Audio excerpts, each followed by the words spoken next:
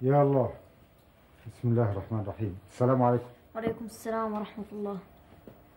ما شاء الله ما شاء الله. بيت جميل.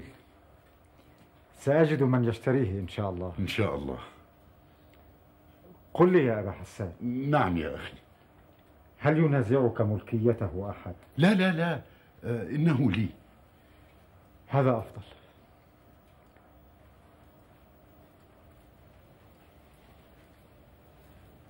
هذه غرفة وهنا غرفة وهنا غرفة. حسنا على بركة الله. تعال معي لتتفاهم مع من سيشتري البيت. تفضل. يا أم حسان أنا ذاهب. أنا ذاهب يا ولدي. حسنا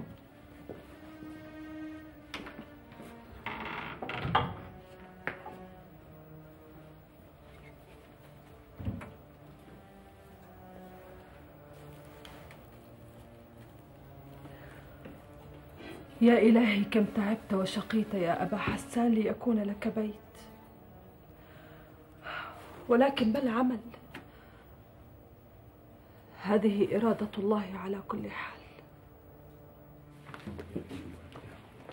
إنه بيت محمد بن الجهم المكنى بأبي حسان وهو بيت متين البنيان متوسط في السوق فناؤه واسع وأبوابه حصينة.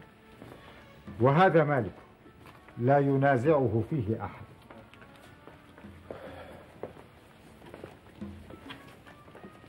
ألك هوى في شراء البيت يا حنظلة؟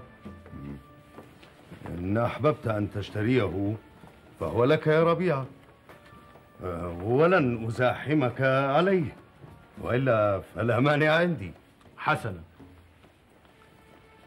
وبكم تبيع هذا البيت يا أخي؟ هذا البيت بخمسين ألف درهم.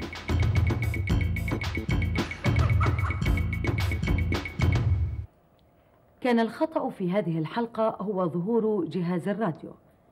علما بأن أحداث القصة تدور في زمن لم يعرف فيه مثل هذا الاختراع.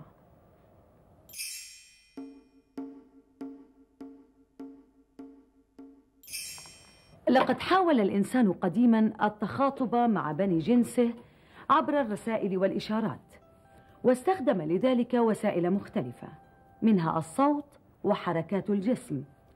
وقد استخدم النار أيضا ليعطي مدلولات معينة لمن يشاهدها عن بعد.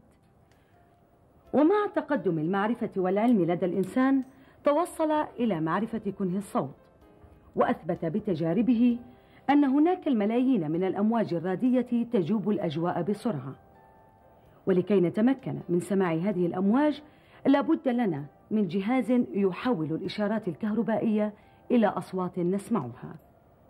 وفكر الإنسان كثيرا في إمكانية جمع هذه الأمواج وإعادة التقاطها.